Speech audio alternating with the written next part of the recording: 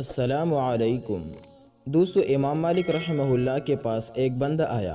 कहने लगा कि, हज़रत, आप जो कहते हैं कि हम लोग के माल के मसरफ से उनकी आमद का अंदाज़ा लगा लेते हैं, उसका क्या मतलब? फरमाया अच्छा ऐसा करो कि ये दरहम है, इसको लेकर शहर में जाओ, और जिस बंदा को तुम समझते हो कि वो सबसे ज़्यादा गनी है, मोहताज नहीं, साइल नहीं, इसको दे दो। और फिर देखो कि ये खर्च कहाँ कर रहा है। चुनाचे वो गया दोस्तों, उसने शहर में देखा कि एक बंदा, उसका लिबास बड़ा अच्छा उसका चेहरा बड़ा अच्छा ऐसी जैसे बड़ी शरीफ का होता है, और वो हाथ में तेला लिए जा रहा था। उसने कहा, ये बंदा वाकता साइल नहीं हो सकता। उसने इसको दे दिया। देने के बाद वो इसके पीछे लग गया। उसने अजीब बात देखी दोस्तों। कि वो बंदा एक गली में मुड़ा और तेरह गली में फेंक कर एक दुकान के अंदर गया। वहाँ से सौदा खरीद कर घर के अंदर ले गया।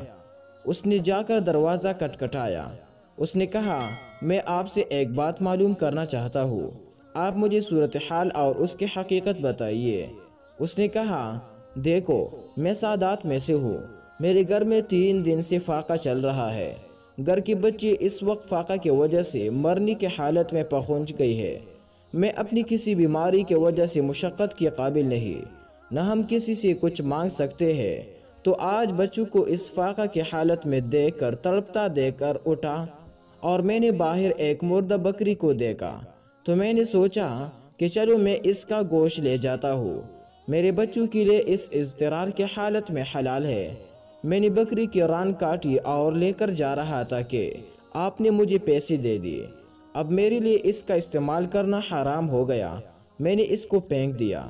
दुकान से ये चीज़ें खरीदी और घर वालों को दी कि एक साहब ने मुझे हदिया दिया है।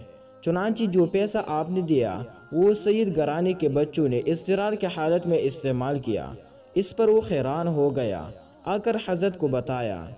हज़रत ने फरमाया, अब अपना पैसा निकाल लो और जिसको सबसे ज़्यादा मोहताज समझते हो, इसको जाकर दो। फिर देखो वो क्या करता है। चुनाचे वो पैसा लेकर निकला दोस्तों। उसने बाज़ार में एक बंदी को देखा, जो ज़रा लंगड़ा भी था और फ़कीर बना हुआ था। चुनाचे उसने सोचा कि ये माजूर भी है, फ़कीर भी है, इसको पैसा देता हूँ। पैसा इसको दे दिया दोस्तों।